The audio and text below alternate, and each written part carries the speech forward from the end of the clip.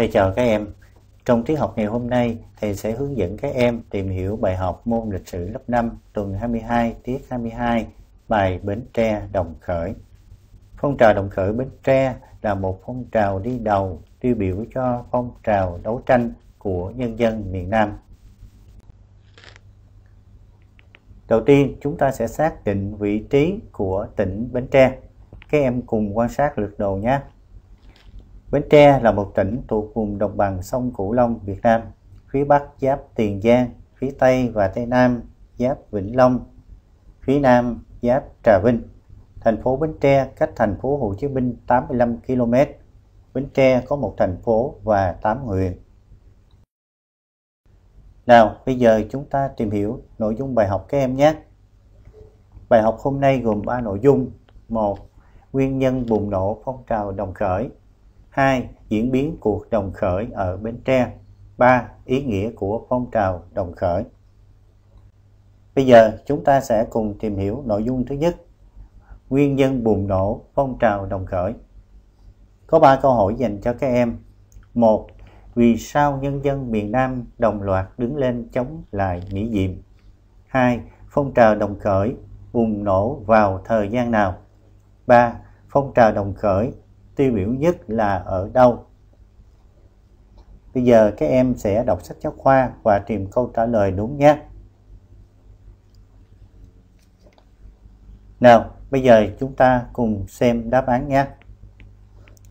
Câu số 1. Vì sao nhân dân miền Nam đồng loạt đứng lên chống lại Mỹ Diệm? Đáp án là Trước sự tàn sát giả man của Mỹ Diệm nhân dân miền Nam buộc phải đồng loạt đứng lên chống lại Mỹ Diệm. Câu thứ hai, phong trào đồng khởi bùng nổ vào thời gian nào?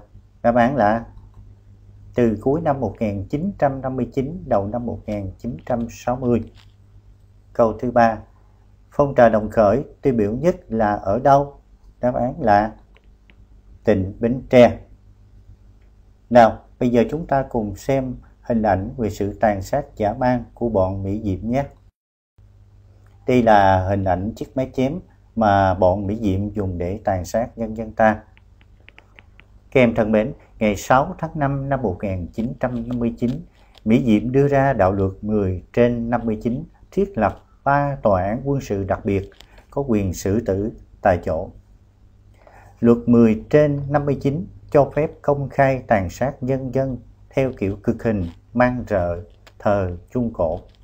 Con số ước tính đến năm 1959 ở miền Nam có 466.000 người bị bắt, 400.000 người bị tù đầy, 68.000 người bị giết hại. Như vậy, chúng ta thấy rằng trước sự tàn sát dã man của bọn Mỹ Diệm, nhân dân miền Nam buộc phải đồng loạt đứng lên chống lại Mỹ Diệm. Chúng ta cùng tìm hiểu nội dung 2 của bài học Diễn biến chính cuộc đồng khởi ở Bến Tre. Có một yêu cầu và hai câu hỏi dành cho các em. Một, Thuật lại sự kiện ngày 17 tháng 1 năm 1960. 2. Sự kiện này ảnh hưởng gì đến các huyện khác ở Bến Tre? 3. Kết quả của phong trào đồng khởi ở Bến Tre. Các em sẽ đọc sách giáo khoa và tìm câu trả lời đúng cho mình nhé. Được bây giờ chúng ta cùng xem đáp án đúng nhé.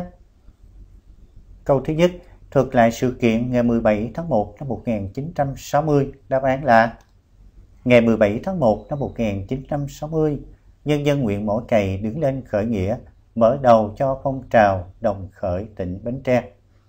Câu thứ hai, sự kiện này ảnh hưởng gì đến các huyện khác ở tỉnh Bến Tre? Đáp án là từ cuộc khởi nghĩa ở Mỏ Cày phong trào nhanh chóng lan ra các huyện khác. Câu thứ ba, kết quả của phong trào đồng khởi ở Bến Tre là gì? Đáp án là trong một tuần lễ, ở Bến Tre đã có 22 xã được giải phóng hoàn toàn, 29 xã khác tiêu diệt ác ôn, vây đồn, giải phóng nhiều ấp. Như vậy, chúng ta thấy từ cuộc nổi dậy ở huyện Mỏ Cày phong trào đồng khởi lan nhanh ra toàn tỉnh Bến Tre. Từ tỉnh Bến Tre, phong trào đồng khởi nổ ra và thắng lợi ở nhiều vùng nông thôn miền Nam. Ở nhiều nơi, chính quyền địch bị tê liệt, tan rã. Nhân dân, chiến sĩ ta phấn khởi, vui mừng được sống những ngày thực sự làm chủ quê hương. Bây giờ, chúng ta sẽ xem một số hình ảnh hào hùng của phong trào đồng khởi Bến Tre. Kim quan sát hình 1 và hình 2, đó là hình ảnh nhân dân đồng khởi phá áp chiến lược. Hình 3 là hình ảnh nhân dân ta biểu tình chống Mỹ Diệm. Và hình thứ tư là hình ảnh nhân dân miền Nam nổi dậy phá thế kiềm kẹp của bọn Mỹ Diệm. Qua những hình ảnh vừa xem, chúng ta đã thấy được khí thế hào hùng cách mạng và tinh thần đấu tranh kiên cường bất khuất của nhân dân miền Nam trong phong trào đồng khởi. Thầy sẽ giới thiệu cho các em một nữ anh hùng trong phong trào đồng khởi Bến Tre, đó là bà Nguyễn Thị Định. Bà Nguyễn Thị Định, anh hùng lực lượng vũ trang nhân dân. Bà nguyên là Phó Tổng Tư lệnh Quân Giải phóng miền Nam, Chủ tịch Hội Liên hiệp Phụ nữ Việt Nam, Phó Chủ tịch nước. Bà là Tư lệnh đội quân tóc dài. Đội quân tóc dài là tên gọi phong trào đấu tranh của phụ nữ miền Nam trong thời kỳ chống Mỹ cứu nước, những người phụ nữ làm công tác đấu tranh chính trị.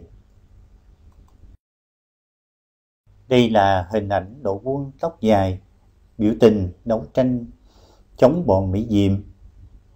Những hình ảnh này đã phản ánh được một giai đoạn lịch sử hào hùng của dân tộc ta. Phụ nữ Việt Nam thật xứng đáng với lời khen tặng của Bác Hồ, anh hùng bất khuất trung hậu, đảm đang. Bây giờ chúng ta cùng tìm hiểu nội dung 3 của bài học ý nghĩa của phong trào đồng khởi. Có 3 đáp án dành cho các em. A. Do sự đàn áp tàn bạo của bọn Mỹ Diệm, nhân dân miền Nam vùng lên phá tan ách kìm kẹp. B.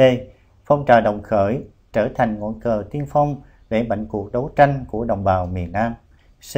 Mở ra thời kỳ mới nhân dân miền Nam cầm vũ khí chiến đấu chống quân thù, đẩy quân Mỹ và quân đội Sài Gòn vào thế bị động lúng túng. Các em hãy suy nghĩ và chọn đáp án đúng nhé.